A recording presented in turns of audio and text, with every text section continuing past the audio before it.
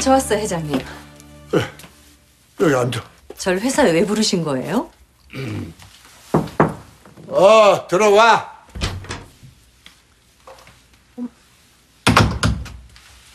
아니, 네가 여긴 웬일이야? 내가 오라고 불렀어. 거기 앉아라.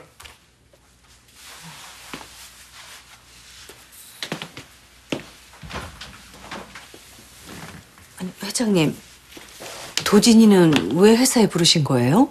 어, 회사 일로 불렀어. 혹시 다시 출근하라고 부르신 거예요? 아유, 이, 이 녀석 좀 더 고생을 해봐야 세상 무서운 것도 아는데 엄마한테 들으셨겠지만 저 미호랑 혼인신고까지 끝냈습니다. 저희 그만 허락해 주세요. 예, 도진아 허락받기 전엔 출근할 생각 없습니다.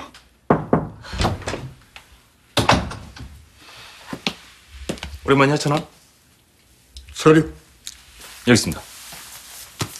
무슨 서류예요? 사인해라. 아니 무슨 서류인데 사인을 하라는 거예요? 도진이가 가지고 있는 주식을 양도하겠다는 주식 양도 양수 계약서야. 뭐라고요? 네가 집을 나갈 때 마씨 집안의 사람이길 포기했어.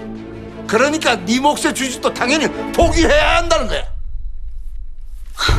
아니 그러니까 우리 도진이의 주식을 모두 빼앗겠다 이 말이에요 지금? 여자한테 눈이 멀어서 부모 형제 다 버리고 집 나간 놈한테 주식이 무슨 해당 사항이야? 참고로 말씀드리자면 죽은 큰 처남도 아버님께서 반대하시는 결혼하고 집 나갔을 때 가지고 있던 주식 모두를 반납했었습니다. 물론 후에 다시 집으로 돌아왔을 때는 되돌려 받았지만요. 알겠습니다. 사인할게요. 안 돼. 절대 안 돼.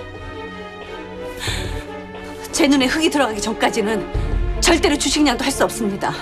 어, 이 사람이 이게 우리 모자한테 이것마저도 없으면 도진이랑 나 빈 껍데기나 마찬가지예요. 절대로 주식량도 못 합니다. 아, 내 말을 거역하겠다는 거야 지금? 네, 거역합니다. 일어나 도진아.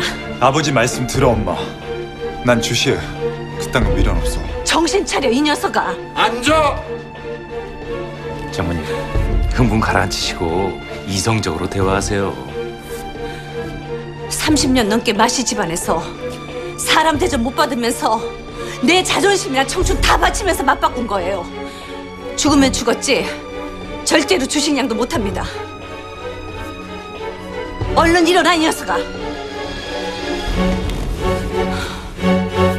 그만 가보겠습니다.